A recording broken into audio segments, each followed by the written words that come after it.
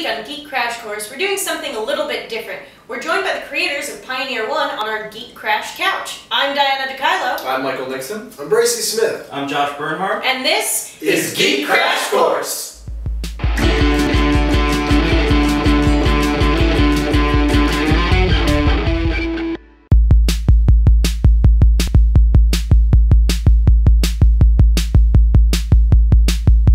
Back to the guys in a little bit, but first, some more about Pioneer One. It's a TV show for the web. It's funded by fans and it's distributed on BitTorrent and Vodo. In the show, a Soviet space capsule falls to Earth on the Montana-Calgary border. Department of Homeland Security agents cross the border and secure the craft in quarantine. The conflict between countries becomes the background tension of this series. The deeper mystery begins when the capsule's occupant is revealed to have brought rocks from Mars with him. The occupant himself is also part of the larger story. Fun fact number one, the space helmet seen in the pilot has actually been to space. Here are the characters you need to know about to start watching Pioneer 1. Tom Taylor works for the FBI and is the director of the Calgary crash site. He brings in Dr. Zachary Walzer, who's an expert on Mars and is supposedly there just to investigate the crash. Sophie Larson is a tough and sassy FBI agent that keeps Taylor in check. Secretary McClellan is a DHS deputy secretary, Taylor's boss, and he calls in from afar to keep Taylor and the whole shebang in check. Jane Campbell is a nurse brought in in episode 3 to care for Yuri. Yuri is the mysterious Soviet cosmonaut of unknown origins whose fall to Earth starts the series. Fun fact number two, the spacesuit has not been to space, and is in fact an old painter's suit filled with empty water bottles. So instead of homework and avoid this week, we're going to ask the creators of Pioneer One themselves some questions. The first one is, how did you guys meet? Uh, we met in college. I used to run our local college television station, and uh, he produced a TV show called Nate Kemper, which was a very ambitious project back back in the day, and uh, and I thought it was fantastic, and we kind of met because of that. So how did you guys come up with the idea for Pioneer One, and who came up with what? And I don't know exactly where the idea came from, but someone who knows me well, who's known me for a long time, um, they heard me answer that saying, I don't know where the idea came from, and then they said, Josh, what are you talking about? Uh, but you've always been like a Cold War slash space program nerd. Like, I mean, this makes complete sense to everyone else where this came from. I was like, oh, I suppose that makes complete sense. Yeah. So what kind of research did you guys have to do? And actors, like the one that plays Dr. Walzer, did you have to give him a science lesson, or is he just reading a script? Uh, we did absolutely no research whatsoever for this whole No, uh, uh, actually, Josh was very helpful as far as um, the research and a lot of the background checking, a lot of stuff he did while he was writing the script, and he had, I mean, you no, yeah, well, a lot of people.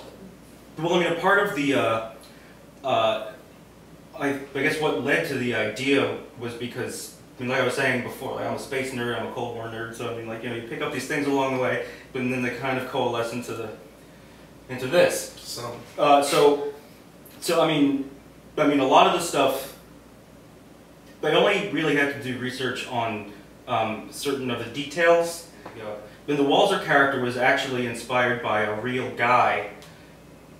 There's um, by a guy named uh, Robert Zubrin, who, um, I mean, on, I mean, like on paper, like the fact sheet, if you put uh, uh, Zubrin and Walzer side by side, it would look, you know, kind of the same. But that's kind of where like the comparison is. He he read the book on this one, yeah. He...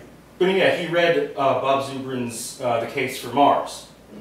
Uh, which was was really cool. So because then he was like, now I understand what I'm saying in the script when I'm saying this.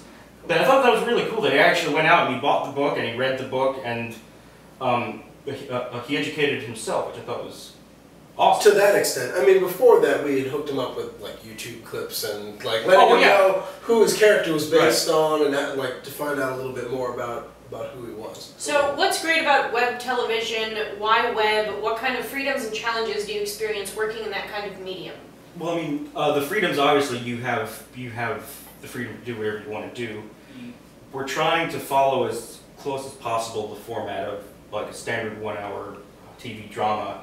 Um, uh, not really for necessarily a, a, commercial reason, but because um, the the idea was to make a TV show, and that we wanted to make it along with all of the, the conventions of uh, the format. So I mean, we have a commercial break. We didn't have to do that, but I mean, TV shows have commercials. In general, just we wanted to make something that we wanted to watch ourselves. So, yeah, uh. I mean, as far as entertainment is concerned, I'm not really interested in short web series. I like uh, I like informative web series, like when they're when they're short and to the point. like, say, say geek what's the show? Yes, yes, Geek, geek crash course. Um, or when it's more like fun information, that's what I like uh, out of a web series. But as far as like a, a story arc and an involved, like I want something longer format. Of. Fun fact number three: the rocks from Mars seen in the pilot are actually not rocks. They are sponges used to paint the spacesuit. Cheers, buddy. Each week on Geek Crash Course, we ask an extra credit question.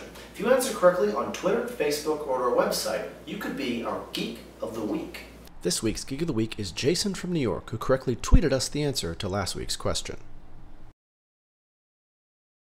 This week's extra credit question is To what celestial body was the real Pioneer 1 probe sent? That's it, and thanks for watching this week's special episode of Geek Crash Course on Pioneer 1. If you want to see the rest of our interview with Bracey and Josh, we're going to post it later this week. Till then, if you have any questions, we're on Twitter, Facebook, and our website, geekcrashcourse.com. Thanks for watching, and we'll see you next time on Geek Crash Course.